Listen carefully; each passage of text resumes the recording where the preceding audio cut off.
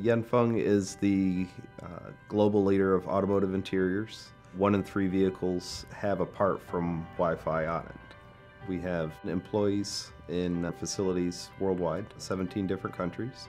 When we first got Sawyer in here, I think the thing that most surprised me was the ease of learning it.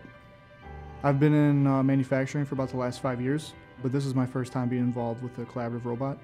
Automation is new here. Our continuous improvement efforts allow us to make our business the most efficient we can, and to me that means making us more competitive in the future. We have a strong culture here for continuous improvement, and Sawyer provides an opportunity to reallocate people in a way that's going to be the most beneficial to the business.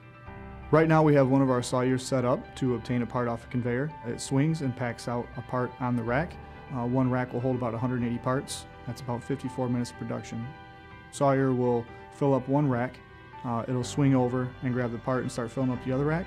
While it's filling up the other rack, the rack that was already filled up will be replaced with the fresh rack, allowing continuous production at that job. We have the other Sawyer set up uh, as the parts are dropped from the mold. They come down a conveyor belt.